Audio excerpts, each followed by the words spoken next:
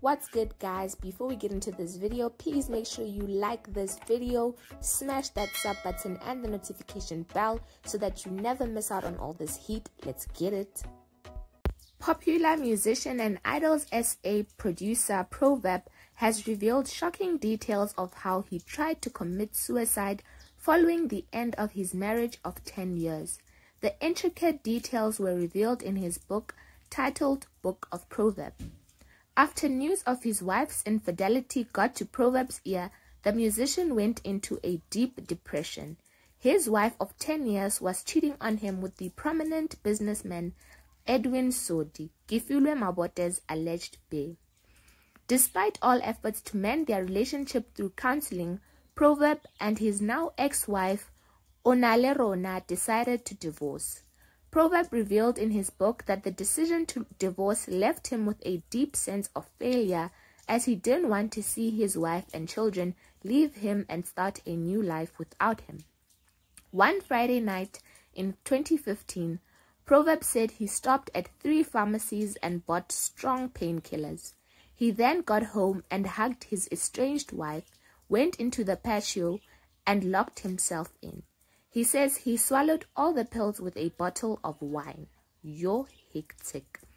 Luckily for him, his brother found him on time and took him to hospital. Proverb says he is a human like everyone else and his suicide attempt was his moment of weakness. During his divorce in 2016, Proverb's wife Onalerona opened up about her divorce in a touching Instagram post. Talking about her life after they called it quits and finalized their divorce, Onalerona Moreo says although she's back on her feet, divorce feels like death.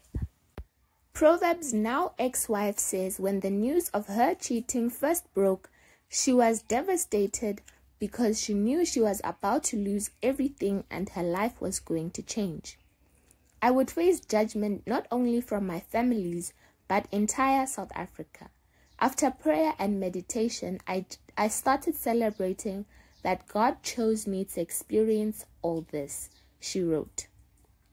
Onalerona says she found strength in her purpose on this earth. What a blessing. I started praying. I stay empowering myself and I stay affirming myself. The mother of two says she now knows she can endure anything in life because of that experience and is thankful to God for choosing her to go through it. It feels like death, a loss that only God can restore, she wrote. We hope that Proverb has also healed and found peace after this ordeal. Thank you guys so much for watching. Make sure you comment, like this video, and subscribe to the channel. Bye guys.